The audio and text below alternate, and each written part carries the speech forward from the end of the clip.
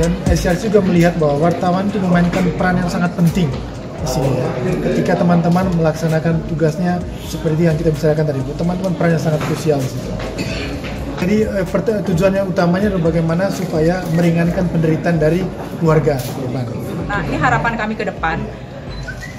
Diharap media sebelum mengeluarkan informasi kepada keluarga korban itu silakan berkoordinasi dulu kepada eh, kami atau kepada Humas Polri untuk berita apa yang kira-kira bisa disampaikan kepada keluarga, keluarga korban sehingga tidak ber- berdampak eh, kepada kegiatan operasi BPK. Oke, cukup. Oke, makasih.